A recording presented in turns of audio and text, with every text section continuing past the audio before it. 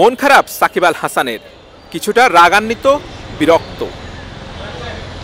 রংপুর রাইডার্সের বিপক্ষে হারটা যেন মানতেই পারছেন না ফরচুন বরিশালের অধিনায়ক। তাই তো টিম বাসে বসেও ম্যাচের মধ্য থেকে বের হতে পারলেন না সাকিব। হেড কোচ নাজমুল আবেদিন ফাহিমের সঙ্গে সাকিবের আলাপ।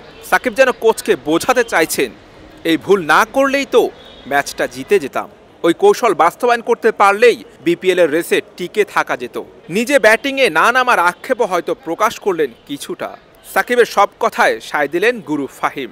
এরপর মুঠোপনে কিছু একটা দেখালেন সাকিব। আবারও কথা বলতে শুরু করলেন নিজে নিজে। সাকিব যে ম্যাচ হারের হতাশা থেকে বের হতেই পারছিলেন না। কারণ এই এক হারে টানা বিয়াল্লিশ দিন ধরে গড়তে থাকা বিপিএল চ্যাম্পিয়ন হওয়ার স্বপ্ন যে ভেঙে গেছে। স্বপ্ন ছিল ফরচুন বরিশালকে চ্যাম্পিয়ন করে ছাদ খোলা বাসে বরিশাল যাবেন। ভক্তদের সাথে আনন্দে মেতে উঠবেন। উল্টো পরাজিত দলের টিম বাসে চড়ে ছাড়তে হলো হোম অফ ক্রিকেট। সাকিবের মতো চ্যাম্পিয়নের জন্য এমন দৃশ্য মেনে নেওয়া বেশ কঠিন।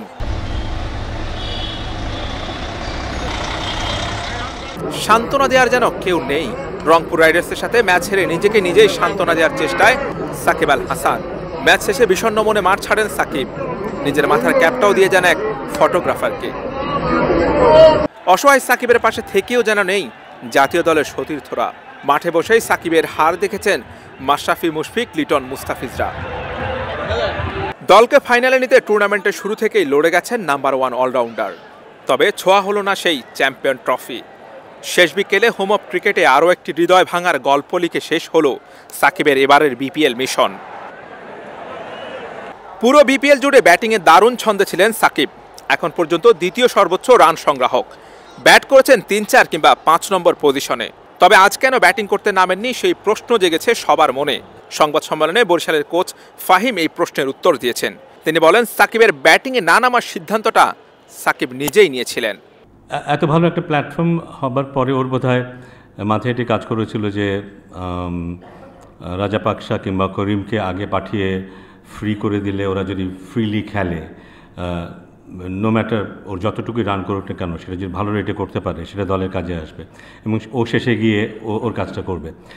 কিন্তু আমার মনে হয় না সেই প্ল্যানটা খুব একটা কাজে লেগেছে। আমার মনে হয় যে সাকিব এখন যেভাবে ব্যাটিং করছে এই উইকেটে এই সিচুয়েশনে যেখানে এত ভালো একটা প্ল্যাটফর্ম সাকিবের চেয়ে ভালো কোনো অপশন আমাদের দলে, আমার মনে হয় না যে আছে। খুব ভালো হতো। ও যদি নিজে খেলতো এবং নিজের মতো করে খেলতো, সেটা আমাদের দলের জন্য বোধহয় ভালো হতো। এটা হয়তো এখন সাকিবের উপলব্ধি হয়তো এখন এটা। বাট যেটা হয়ে গেছে সেটা আমরা ফেরত নিয়ে আসতে পারব না। বাট এটা একটা দেশের লেসন আমার মনে হয়।